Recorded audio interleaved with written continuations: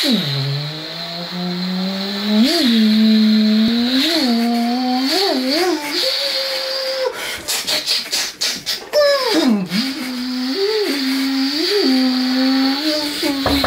Benji.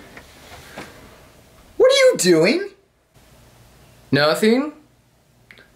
Uh, I'm not doing anything. Just, just. I was chair flying. Yeah. Okay. Let's keep it that way.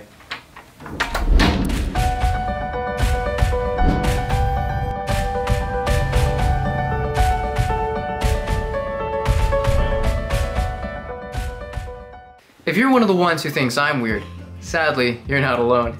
In this episode, I want to talk about chair flying. What is chair flying, you may be asking yourself? Chair flying is simply this.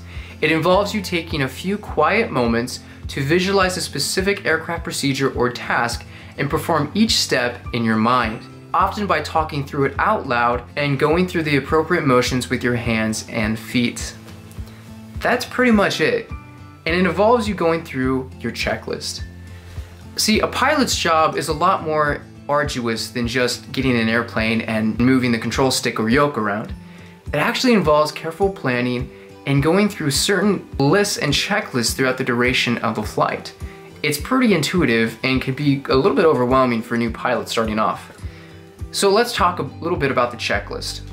The pre-flight checklist, or AKA the flying compatibility checklist, I just made that up, is this thing right here. This will be your Bible in flight school. What does this entail? Well, of course it involves your pre-flight, so going through and checking everything on the airplane to make sure everything's working properly and is functional.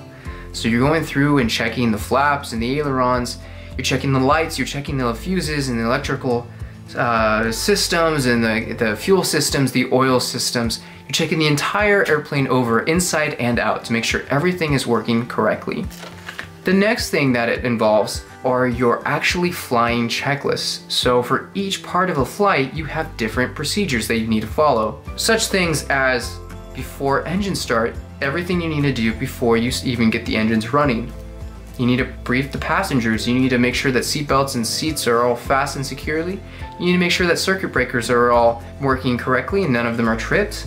You need to make sure your beacon light is on. You need to make sure your brakes are, brakes are set. And then you go through your engine start checklist. So make sure your mixture is completely rich. Make sure the carburetor heat is off and your prime is pushed in as many times as you feel is necessary.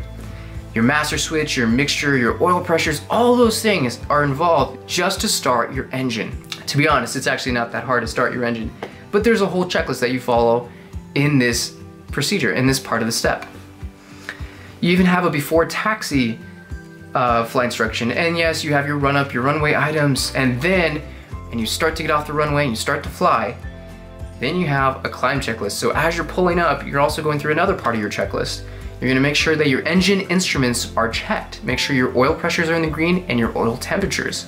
The next thing you're gonna do is make sure your flaps are up at the appropriate time. And then you're gonna also call out 500 feet above the runway and then a thousand feet above the runway, no runway remaining. You're gonna go through all these different steps. Then you have a cruise checklist, which consists on this checklist of about five items. You have a descent arrival checklist, you gotta check the weather, get on the right frequency, contact tower, all those different things before you even get to the airport. And then you gotta enter the right traffic pattern, communicate with air traffic control. So many steps, which is why we put it all down on this simple checklist. But then you get into your emergency procedures and your different maneuvers you can perform. So short field takeoff, normal landing, each one has different specifications that allows you to fly it correctly and different guidelines for each one. So it's very intuitive and the thing that they really highly encourage you to do in flight school is actually memorize this checklist inside and out. It's pretty much common sense, but there's a lot of little things that can you can easily miss by overlooking them, so it's good to have it in your brain. And the best way to memorize it is to walk through it, to get it to be part of your second nature, which is why we practice it. So we sit in a chair like this one, and then we call out each and every step that we do, and we try to think about it, and we memorize, and then we act it out on where it would be on the airplane. So let's walk through it, and I'll give you an example. So now we're gonna get into chair flying itself. Here's a quick tutorial of how to do it. And I have a quick question for you before we begin. Could you get through each one of these items on the checklist here below? And could you do it within a span of 45 seconds? That's the goal, is to get it so intuitive in your mind that you can do it without thinking about it within 45 seconds. Let's get into the video and have some fun. I wanted to spice it up a little bit, so I thought I'd throw these guys on. And uh, I can't hear a thing, so I might actually take them off. Um, let's, let's go ahead and get started here. All right, so we're flying along, cruise checklist set. So, all right, now we have an engine failure in flight. What are we gonna do? All right, pitch for 65 knots. Okay, I'm pitching for 65 knots. I was going 80, I'm pitching, keeping it level, catching 65. All right, now I'm gonna slowly put the yoke, push the yoke forward until I capture 65 perfectly. All right, select the landing site, and actually I wanna do that kind of the same time. So I'm looking around, looking land. Oh, let's land over there, okay? We know where we're gonna land. All right, mixture, uh, fuel selector. So we're gonna go push that all the way around. Right, left, both. None of it's working, and still the engine's not working, so it's not the fuel. Uh, it's the mixture, full, mit, full rich. Um, nothing else is happening. Carburetor heat, maybe there's carburetor icing. Put the carb heat on. Primer's in, that's not the problem. Ignition, both start. Is it a magneto? No, it's not a magneto. Okay, engine fails to start. Okay, what do we need to do now? All right, communicate. Advise ATC 121.5. Mayday, Mayday, Skyhawk 186 Victor. Mayday, Mayday, Skyhawk 186 Victor. Engine failure in flight, going down on the southwest practice area. Engine won't start. Advising ATC, over. So something like that. That wasn't perfect by any means. All right, transponder squawk 7700. Okay, that's plugged in. All right. Okay, we're gonna brief the passengers. All right, if there's people in the back, we're gonna say, when we go through our landing and the plane comes to a stop, everybody unbuckle your seatbelts and go out the side doors here, behind the wing, behind the aircraft, go 50 feet back at least, and wait for others to arrive. Um, and then you can say, uh, brace for impact, so crouch down, arms forward, and just get, ready, get in the impact position.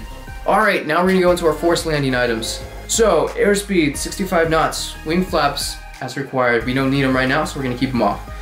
Power, bring back power to idle. We're gonna do undo everything we just did in the former checklist. All right, mixture rich cutoff, fuel selectors off, carb heat is off, master switch is on, or master switch is off, ignition is off, seat and seat belts secure, fasten, and doors unlatch. All right, let's get into our forced landing items. Airspeed's still 65 knots. Our wing flaps, we're gonna use those as required. We don't need them uh, for this example. Uh, and we're gonna bring our power back to idle. We're gonna do our mixture cutoff, basically shutting the engine down. Fuel selector is off. Carb heat is off. Master switch is off. Ignition is off. Seatbelts securely fastened. Seats are securely fastened. And doors unlatch. All right. That concludes this checklist. Congratulations guys, we survived the plane crash because we practiced this thing and we had it memorized. That is the best and safest thing to do to become a proficient pilot. Alright guys, in the last part of this video, I just want to go over real quickly with you guys the departure brief. You should have this memorized, it will save you a bunch of time, a lot of heartache, it will make you a way better pilot and help you know what to do in case of any complications during rotation or during departure uh, part of your flight. I'll leave a link to pictures and to this checklist that you can get for yourself in the description below. Please check it out. And uh, this is, again, the, probably the most important thing you're gonna have, and you need to have it every time you go on a flight, so make sure that's always in your flight bag. Again, thank you so much guys for watching this video. I hope you enjoyed it. It was really fun to make. And I uh, will see you in the next episode. Take care guys. Have a wonderful weekend. And remember, fly safe, fly smart, fly healthy. All right, so we see you again. Bye-bye.